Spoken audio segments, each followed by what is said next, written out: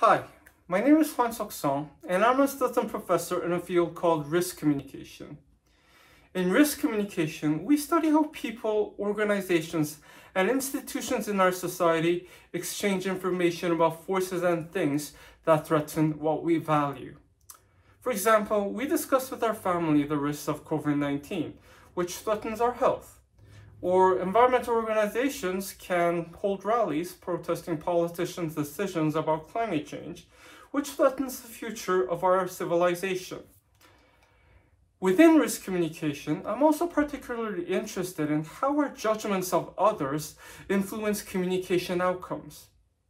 So for example, do Americans trust or distrust governmental agencies such as the CDC or EPA, which are important sources of scientific information?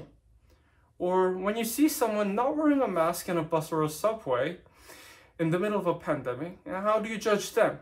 And then how do the thoughts and feelings triggered by those judgments affect behavior and more societal level outcomes such as policy?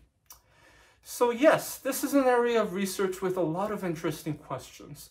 And I'm, asked, and I'm looking forward to working with students who have interest in risk communication, but also in closely related fields such as science communication, environmental communication, and health communication.